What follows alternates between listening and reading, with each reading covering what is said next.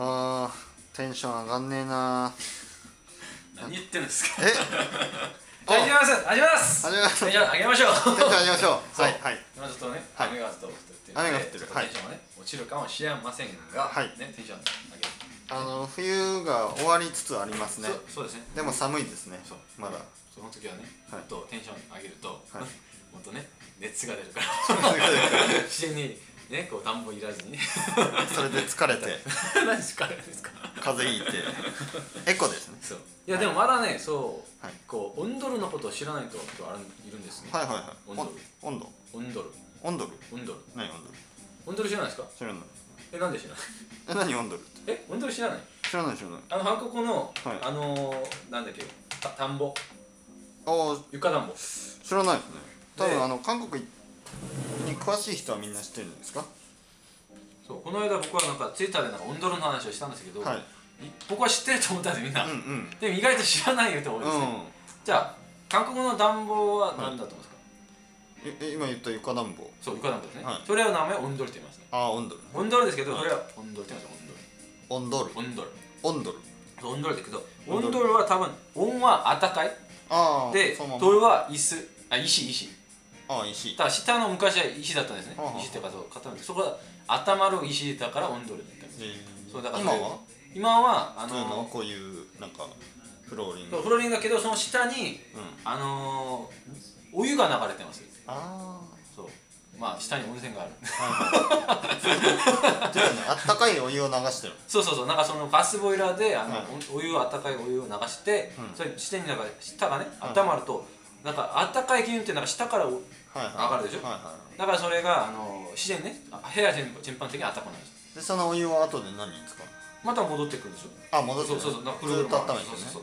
へーだから結局一回温めると温度がそんな下がらないからそれちょっと下がったらまた温めるから、あまあ結局は電気はそんな使わないですよ。はいはいはい。湯たんぽというかそう。いう感じ、うん。でもだからその日本みたいなそういうね、うん。こう下とかだと、うん。やっぱりすぐ冷めちゃうんですか。空気なんでね。そう。うん。でもやっぱりこう下の床だから、はいはい。まあそう寝かせるなあたらね。でも箱根はそれが好きなんですよ。だから基本的にこの間箱根マイナス16度、うん。ソウルとかもうん。何何十年ぶりのなんかそうあ寒さ、はい。だってね。もう寒暖がね、うん。韓国の川がね凍るぐらいすごい寒かったね、それでみんな「韓国どうですか？そその寒くてどこで住みますか?」で住みます全然。うん、家の中はあった部屋の中から全然ここのうちのだと大体うちはちょっと低くするんですけどそれでも223度。家の中が、ね、そう。だから全然なんかこう、まあ、ずっとあのまあ半ズボン？半。本当に？そうそうそう。僕はそんな？に？しし半ズボン。家なんて半ズボン。子供だったからでしょ？いや。お父さんも半ズボン。そうそう半ズボン。本当に？いやおっさんがだから寒二人寒かったりから。そう。うん子供はね半ズボン。そうそうええでもだから韓国はでも違いますよ。日本だと子供半ズボンだけど僕はそれ決まりないですよ。あそうなの？そう。だから寒い。マイナス15度で半ズボンで死にますよ。でもね僕田舎に帰るとね子供みんなまだ半ズボンだったりしてねえマイナス10何度もですよ。マイナスなんだよそうだからだからでしょ。マイナス5度でそこで子供半ズボンで出すとそれは半じゃないです。それはもうちょっと何かのプレーですね。だからね、あくまでオンドルっていうことですね、はいはい。でもそれはまだ知らないと思うんだけどこの間話したら日本でもオンドルを作れる教授がいるらしいですよ。あそう。札幌とかは、はね、やっぱ北海道とかは寒いから、うん。韓国と同じ感じでオンドルがえーあるらしいですね。いいかもしれないですね。オンドルビジネスいやでもいや東京は多分 暑い。高いからね。高いそうそうそう。結構お金が。でも韓国はそれは気温だから韓国の場合は政府がやっぱりあ多分こうかガスの値段を、ね、下げ差しくしてるからやっぱりそんなに値段がか。かるだからたあの例えばあのなんだっけガス料金が、そう夏とやっぱりその、ボイラー使うから、比べても2倍ぐらい。うん。でまあ1万なんか普通は5000円ぐらいでうちだとね5000円ぐらいで、もう普通だと1万ぐらい。あーでそんな変わんないですよ、そんなそうでも中途暖かいから、まあ、そっちの方がいいんじゃないかと思うまあ最初お金かかるけど。そうそう。でも最初も全部もう入ってるから基本基本的に。まあそれあー家の中にね。そうそうそう。これはでも家作る時も基本的にそれはないとそれはもう住めない。オンドルがないとか言ったらいじめられるんですよ。でそれはいないから。あでも昔はあのカスっていうね円はい。円円弾。円弾円単石弾はいはい円弾ってね。四弾って言うんだけど、はい。あのこうあるでしょこうで石弾ってこう、はい。穴があって、それでなんかこうそういう昔はねやっぱりガスとか、あの石油がなかった高かったから、その時は石弾だったんですね。で普通の石弾は使えないから円弾っていうなんかそういうの、ん。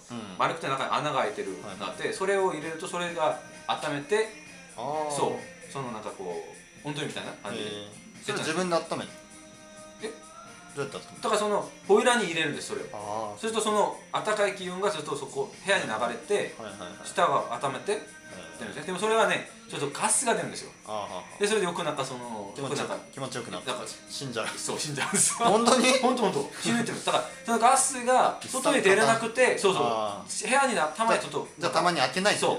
開けないとかあの、まあ、冬だからこう換気はもうしないです寒いそれなんかあそれは。あとなんかこうなんだっけ、昔ねちょっと古いボロい家だとなんかこう下の穴からね燃えちゃったり。燃えちゃああったガスが来ちゃうガサガサしちゃってねそういうのが今なんですよ。なんか臭いなって言って。でもそれがあまりそこしたらお父さんのおなら よくある。それはガス漏れ。う それで死んじゃう。はい。ガス。死んでも死にきれない悲しい。でそれで四タンっていう,、はい。そう。これがなんか昔の切り返しが早いこうなんかこうなんかこうピンボピンボなはい。ところでこうやってたので、はいだからオンドルってい。うの、はい今でもまあはい。普通に使うはい。ガスオンドル、温度。そう。ガス温度。今ガスです。ボイラーガスボイラーだから今、はい。どっちもやっぱり、まあ、僕も日本でもし家を建てたらね絶対入れたいなと思います。ね 縁談で。ガスが出て 気持ちよく死ぬ。ふわふわ。ちょっと嫌ですね、そう。そういう感じでね、はい。なんか円単最近円単切りっていうの本が出たんだけど、はい。それはなんかそういうむやっぱ昔貧しいと、もうところだとやっぱそう円壇のそのなんだっけこう灰がね、うん。外で手立つから、はい。それを見るとやっぱりちょっと貧しいところな感じですね、はい。でも今でもオンドルですオンドル。ガスでもガスボイラーですね今ガスボイラー、うんって感じですね。じゃあオンドルみんな欲しいですか？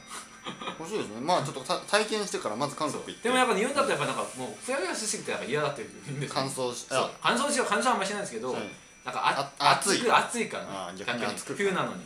あそうなんですね。じゃあ僕もね欲しい。運動ででも僕は日本がいいです。は いはい。じゃまあその辺もまた。じゃあまさみだ